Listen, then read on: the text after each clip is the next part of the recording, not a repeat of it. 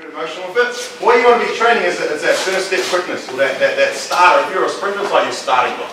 That's what this is here. Okay, so really important things of it is that obviously the hands and feet need to work together. It doesn't want to be like this.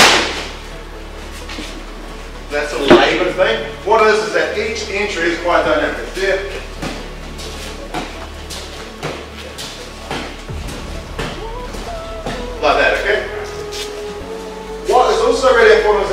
Partner's a good partner. Okay? If he's a bit of a sandbag and he's not being active, it's like we call it sort of dead training. If he's like not really into it, okay, it ends up uh, he's not giving me the correct reaction. An Auckland judo squad came down and trained with us in Canterbury.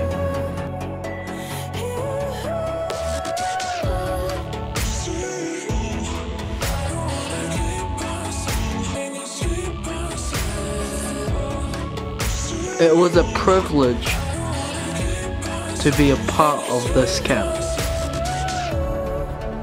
We are really fortunate that we are able to train like this without any restrictions.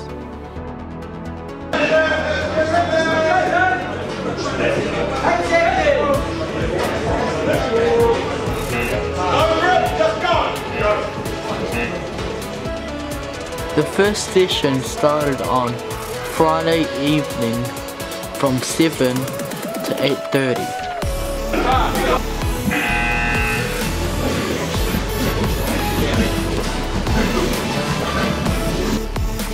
The next morning the session started from 9 to 11 and in the afternoon the session started from 2 to 4. Jumping into a cold pool, right? When you jump into it, then it's not too bad. If you dip your toe in and try and go in, I hate cold too, I know it's first. That makes it harder. So what I'm trying to say is that when we get warmed up, we're going to do a really good fun warm up, okay? Don't dip your toe in, just get straight into it, okay? What was our theme for yesterday? Make the most of the moment? Yeah? Okay. Today's theme is accept what is. Okay? So accept the fact that you're sore, accept the fact that you're tired. Also accept the fact that in a number of hours you'll be on a plane back to Auckland. Okay? So make sure that you get the most out of it. Pick those hard rounds today. This morning's session is going to be a, um, a quite an intense um, start and then quite an intense finish and quite an intense middle. Quite an intense. No, uh, we're going to basically warm up doing um, something that Elliot and I did in Brazil, or a, a, variation of that, which is basically it's how they would run an uchikomi session. But before we do it, I'll just explain what you're trying to do with it. Okay. Really, really important. One thing I, I want to just point out real quick. Last thing I'll say is that when we're doing drills, don't do drills with the mindset of I want to save myself a randori later on.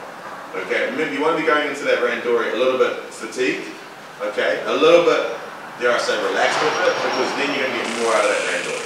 If I just sandbag, sandbag, sandbag, go on randori, then I go against, um, let's say, Jupi who's done like, you know, all the sessions, worked hard, and I'm throwing them around, yeah, it fills my bucket, but it's not actually developing me beautifully. You get what I'm saying?